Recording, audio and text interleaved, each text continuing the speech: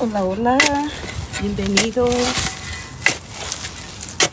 Hoy voy a, este, aquí se me secó una eh, planta de rosas.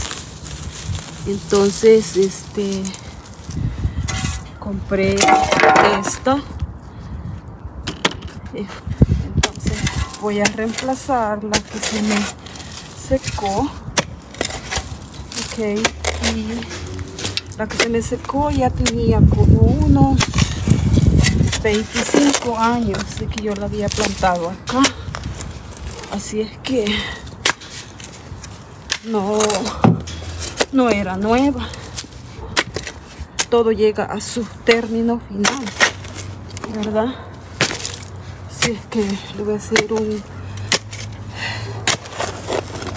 bastante hondito. Dicen que siempre se debe de hacer al doble de lo hondo de, de lo que es la, la maceta de la planta nueva que se va a sembrar. Vieran que esta tierra aquí, oigan, es puro tarpetate. Entonces, en el carpetate les enseño les voy a enseñar cómo está el carpetate acá. Miren esto. Esto es a lo que le llamamos carpetate ven miren cómo se va quebrando. Es súper duro. O lo que le llaman este barro. Miren es rojo y así es el barro. Entonces por eso es que a veces las plantas topan en este tipo de tierra y se secan. Ok voy a continuar con el con el um, espacio acá que le voy a hacer a la a la planta. Y vean ya está bastante profundo casi lleva el doble la voy a, a sacar de su maceta. Así la voy a sembrar. Entonces le voy a aflojar un poquito eh, la raíz que trae como amontonada verdad vean toda la raíz que trae. Se ve que es una planta ya bastante madura. Tiene su tronco bastante grueso. Entonces la vamos a con la misma tierra que estaba acá esa sí está muy fértil vamos a dejar al nivel del de acá del, del suelo verdad y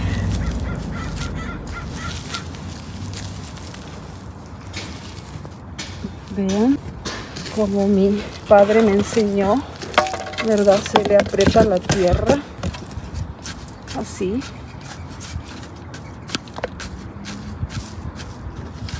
con el mango del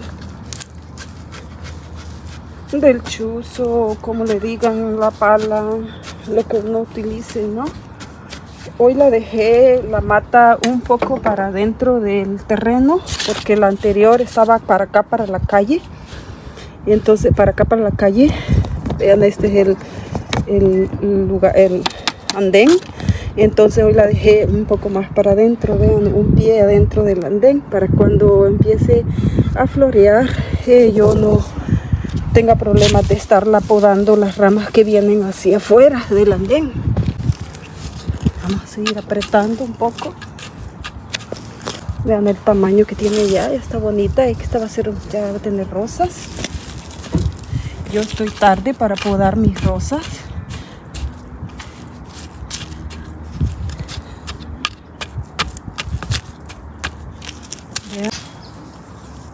A mí me encanta jugar con la tierra.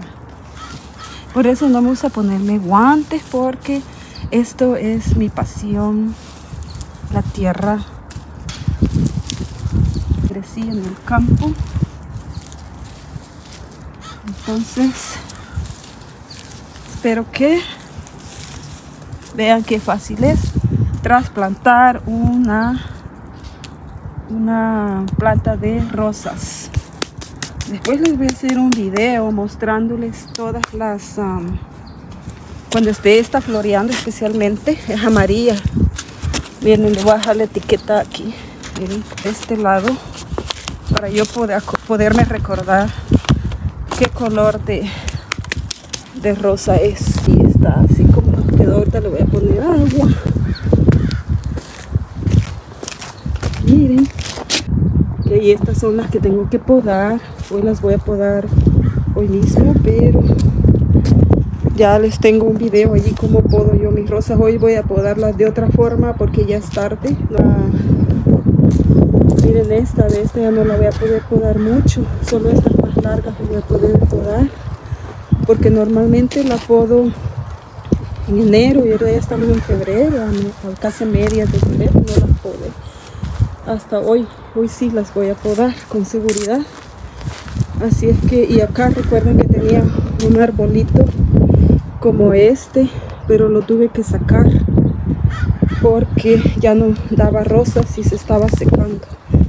Así es que voy a comprar otro arbolito como este para que haga juego acá en la entrada de, de la casa. Miren tengo como un arquito allí luego acá también tengo otro arquito allí que es como la entrada de la casa.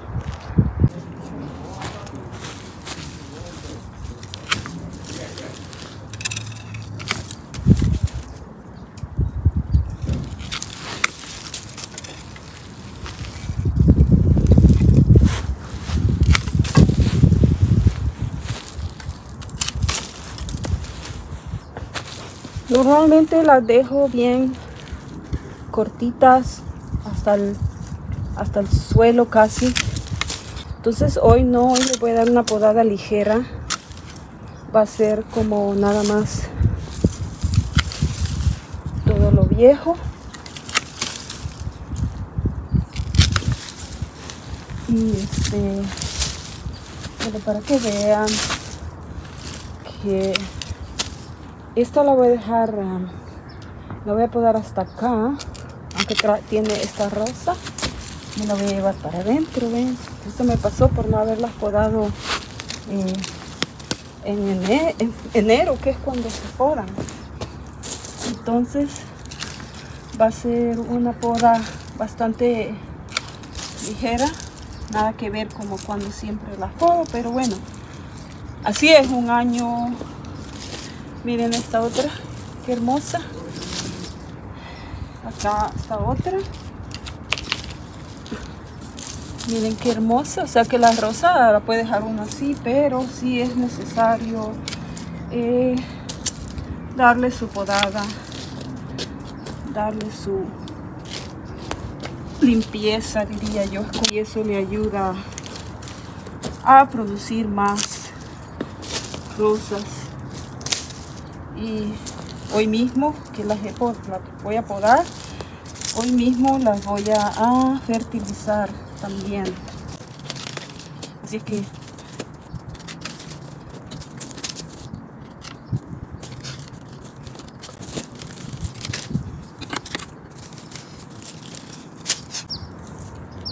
creo que es todo lo que le voy a podar. Entonces ahí quedó ya esta ya es todo lo que le voy a podar. Ahora vamos a podar este árbol de acá. Pues esta la voy a cortar abajo. Esta la voy a cortar acá. Dejaré las dejaré largas están los retoños. Dejaré las principales porque eh, como todas esas que están como en medio no hacen nada. Este de acá no va a hacer nada porque ya viene esta para acá. Y esta por acá, como les dije, no, no le voy a dar una poda rústica, así drástica. Y eh, así que podaré más que todo esta prácticamente ella sola se podó porque como pueden ver está pelona no tiene hojas y eh, vean no tiene hojas. Vean cómo quedó esto es todo lo que le quité nomás las puntas más largas porque si ustedes ven vean todos los retoños que trae estas cada retoño es una, es una rosa y este tiene un aroma exquisita vean. Así es que ese es como yo puedo mis rosas. Y así voy a podar esta. Hasta acá en este les dejo el video que les mostraré esta y le mostraré esa que voy a podarle muy mínimo.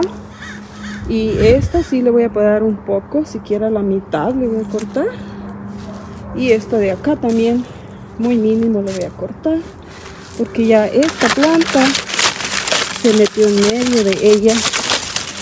Necesito trasplantarla para que no me esté no me la vaya a secar también porque estos son estos son este camotitos que tiene abajo en la tierra y, y salen muchísimos.